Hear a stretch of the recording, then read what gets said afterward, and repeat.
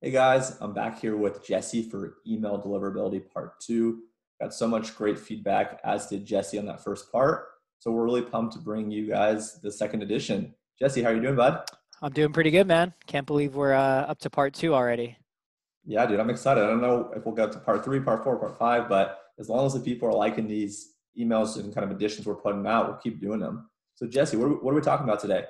Awesome. So yeah, last, uh, you know, the first part we were really going into how does email deliverability work when it's compared to a car, and we kind of did a deep dive in terms of how do you make sure that your emails are properly authenticated.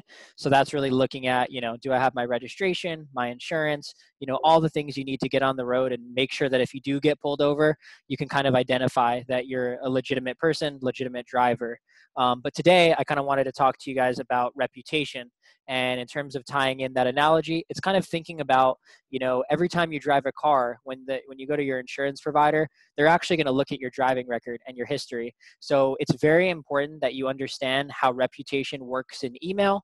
Um, and there's a few different things to go over. But once you understand how reputation works, it should allow you to be able to get more opens, more clicks, and more sales. Um, so I could just dive straight into it. Um, there's two types of reputation that we're going to be talking about today. The first one is IP reputation, and I'm actually going to share my screen to show you guys kind of uh, how to look at look through this stuff. Um, so this is actually pretty straightforward. So anytime you get an email, um, I mean, in a lot of like in the e-commerce scenario, typically what happens is you have, you know, you send an email from Active Campaign, you send an email from Klaviyo, and anytime you pull up an email, uh, you could actually click the drop down here and click Show Original. And what it's going to do, it's actually going to give you the whole message headers, and it starts getting pretty crazy in terms of you know technical details. But what you're looking at is um, the IP address here. This represents the IP address that the person used to send the email. Um, and the first type of reputation we're going to talk about is IP reputation. Um, this is very important. Um, the reason this is important is because the IPs that you use to send emails are one of the factors, one of many factors that the filters and firewalls um, look at when determining where your email should get routed. Um, so, for example, when you're sending from MailChimp, when you're sending from Klaviyo, um, or any type of e commerce or any type of email marketing program, all of them have different types of shared IP addresses that you're using, and all of them will have their own unique IP reputation. Um, so, I guess the takeaway here is if you're using any type of email marketing provider, and you send emails, the best way to check your IP reputation is basically go to Gmail, uh, click Show Original. It's going to show you this IP address here. And what you're doing is just checking the overall reputation of this IP. Um, the easiest way to do this is going to be coming in here and just typing in the IP that you saw in the email and running a blacklist check.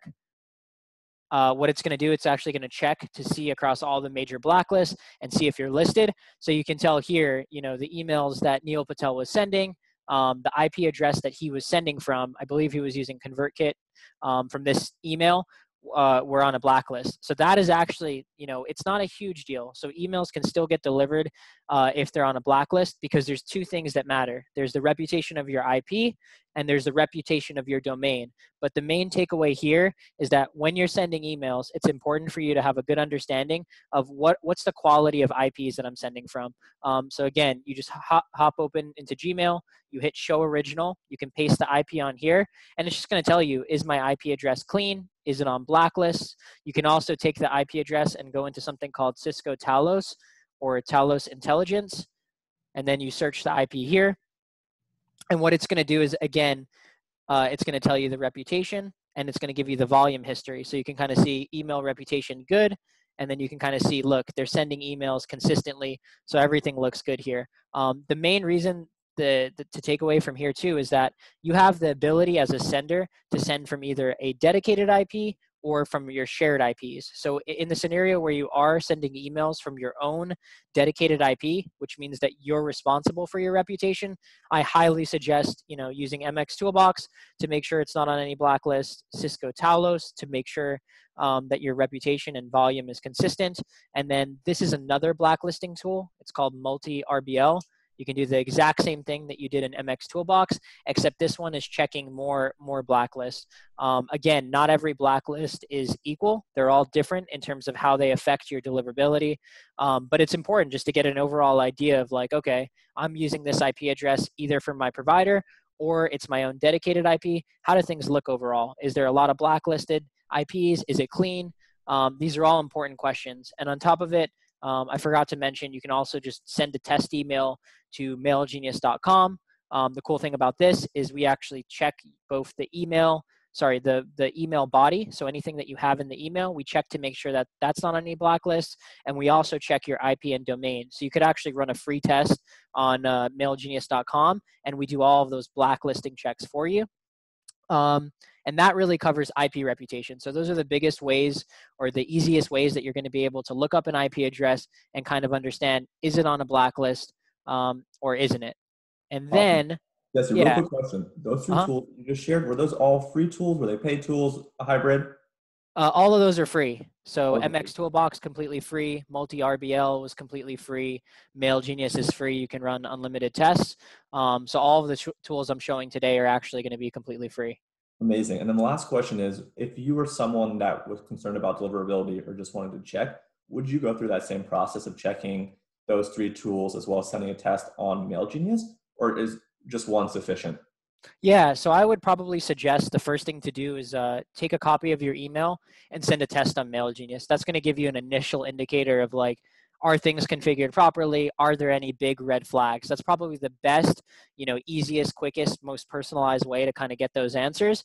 But on top of that if you did notice that your opens clicks maybe just your open rate was declining a little bit clicks weren't you know as high as they're used to it's important for you just to kind of check you know what what is what's the quality of ips that i'm sending from um, and this is something I would suggest, you know, probably the order that I would do things is actually run a test at MailGenius first. And then I think actually, you know, this is exactly kind of what you're asking is the first thing you want to do before you even get started with this journey is you want to figure out where are your emails being delivered um, because that's going to determine everything. So, are they going to inbox? Are they going to promotions? Or are they going to spam?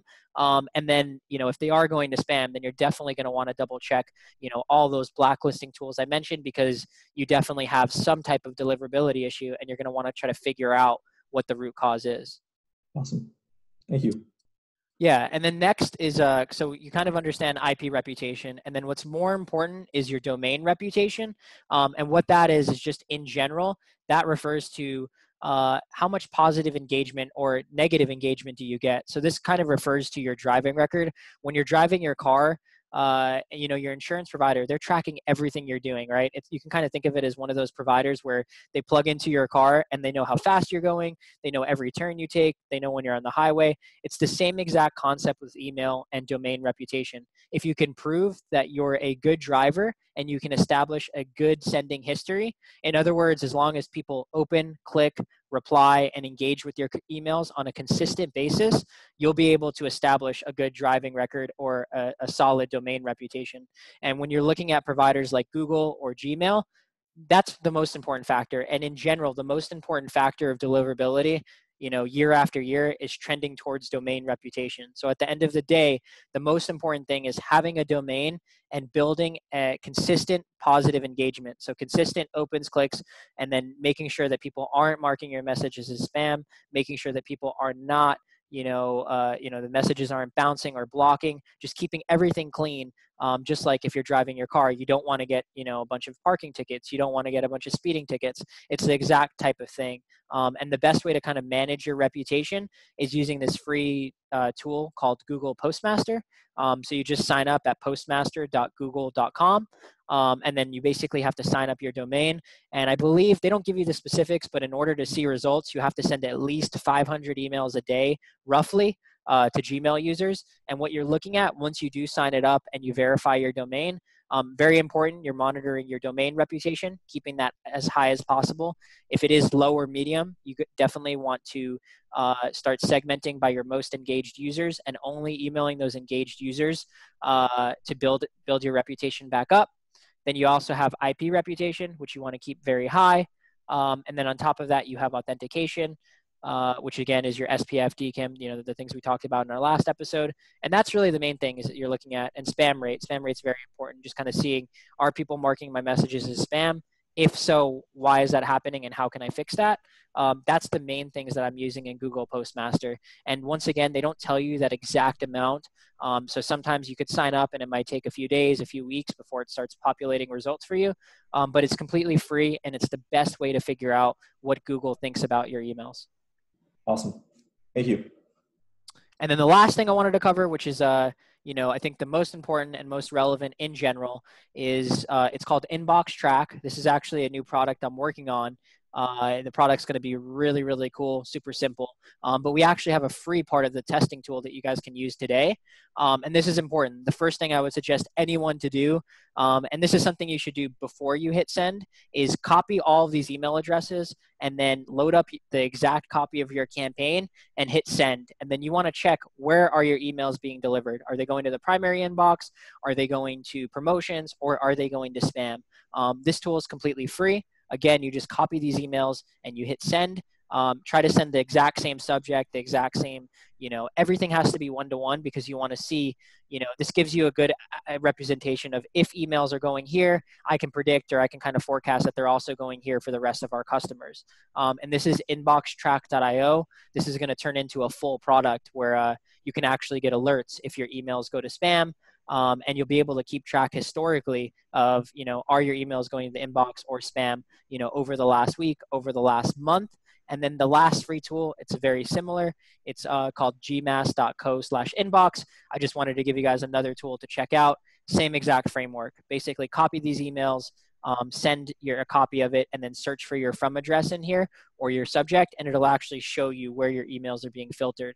Both the tools are completely free and they're very important. This is something that you want to do. I would suggest if you have a, a legit email marketing program, you know, especially in the e-commerce space, um, this is something you're going to want to do ideally daily because I can't stress enough between your IP reputation, your domain reputation, and the different words, phrases, and links in either your subject or email body your emails can change where they're going every single day. They can go to the promotions folder, um, they can go to spam, you know the, the filters and firewalls and different you know things that uh, customers that you're emailing is very dynamic. So try to implement this type of workflow into something that you do every single day.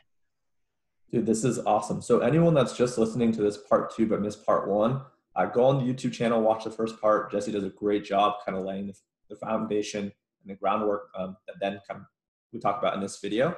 And we will be doing a, a part three I, I believe. So um, if you guys like this let us know Jesse, how do people find you? I know last time I believe you mentioned LinkedIn and then also find you on MailGenius. Is that correct?